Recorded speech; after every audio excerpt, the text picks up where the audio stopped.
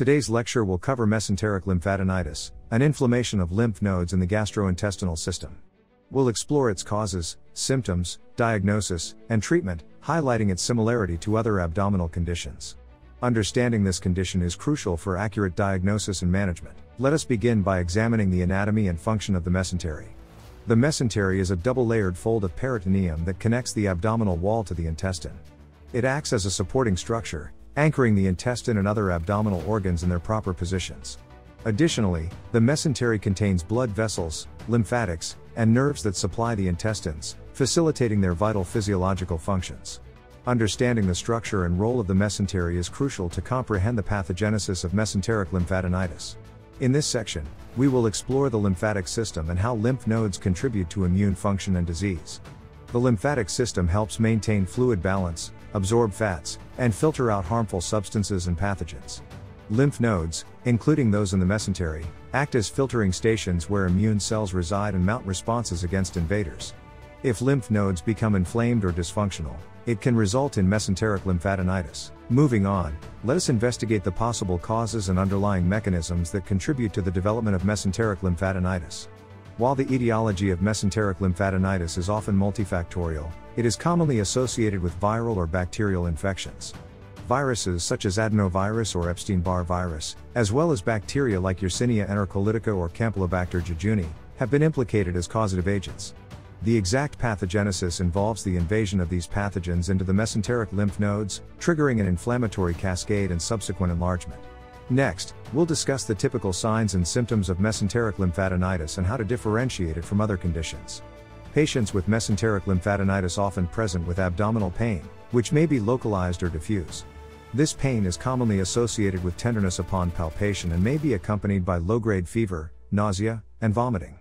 Differential diagnosis is crucial, as these symptoms can overlap with other abdominal pathologies such as appendicitis or inflammatory bowel disease.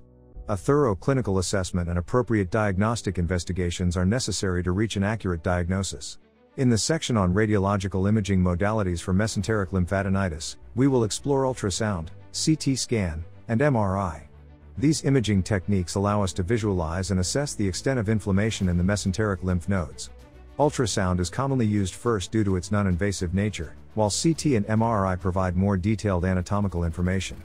It is essential to understand the advantages and limitations of each modality for effective patient management. In the video, we will discuss the laboratory tests used to diagnose and monitor mesenteric lymphadenitis.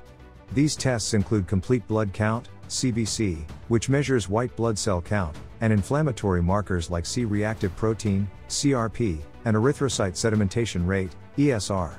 Understanding these tests is crucial for accurate interpretation and clinical decisions. In this section, we will compare and contrast acute and chronic mesenteric lymphadenitis. Acute mesenteric lymphadenitis is a sudden inflammation caused by infection, with symptoms like abdominal pain. Chronic mesenteric lymphadenitis lasts longer than six weeks and may have milder symptoms. Differentiating between these forms is crucial for proper treatment and to anticipate complications. Now, let's discuss the possible complications that may arise from mesenteric lymphadenitis and the long term outlook for affected individuals. While mesenteric lymphadenitis is generally a self limiting condition, complications can occur, especially in severe or untreated cases. These complications may include abscess formation within the mesentery, bowel obstruction, or even sepsis. Prompt recognition and appropriate management are crucial to prevent these complications and ensure favorable outcomes. Understanding the possible prognosis and long term implications of mesenteric lymphadenitis will aid in patient counseling and follow up care. In the section on treating mesenteric lymphadenitis, we will discuss the various options available based on symptoms and complications. Treatment usually involves pain control and observation, with antibiotics and supportive care considered in certain cases for optimal outcomes. In some severe or complicated cases of mesenteric lymphadenitis, surgery may be necessary. This is when conservative treatment fails, complications arise, or non inflammatory causes are suspected. Surgical options vary depending on the severity and cause, such as abscess drainage or bowel resection. Understanding these options is important for optimal patient care. Shifting our focus, let us investigate the relationship between mesenteric lymphadenitis and other gastrointestinal disorders. Several gastrointestinal conditions, such as Crohn's disease or mesenteric ischemia, can exhibit overlapping clinical features with mesenteric lymphadenitis. It is essential for healthcare professionals to be aware of these associations to ensure accurate diagnosis and appropriate management. Recognizing the connections between mesenteric lymphadenitis and other gastrointestinal disorders will aid in considering comprehensive differential diagnoses and conducting further investigations or interventions as necessary. In the last part of our lecture, we will discuss recent advancements in understanding and treating mesenteric lymphadenitis. Ongoing research aims to improve diagnosis, develop specific therapies, and uncover the causes and prevention methods for this condition.